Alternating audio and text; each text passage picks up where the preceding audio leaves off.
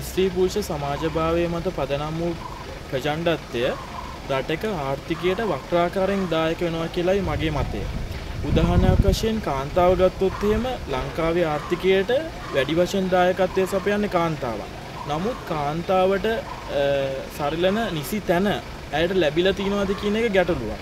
ඇයට ආර්ථිකයට දායකත්වය සපයනවා වගේම පවුලේ වගකීම් වලින් ඇය නිදහස් වෙන්නේ ඇයට පුරුෂයා හා සාපේක්ෂවට වඩා ඇයට මේ පවුල වෙනුවෙන් කටයුතු කරන්න සිදු වෙනවා.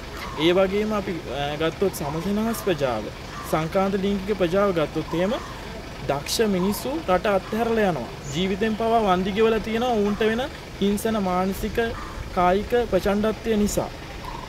ඒ හින්දා රටකට මේ ස්ත්‍රී පුරුෂ සමාජභාවය මත පදනම් වූ ප්‍රචණ්ඩත්වය රටේ ආර්ථිකයට වක්‍රාකාරයෙන් බලපානවා කියලයි මගේ මතය.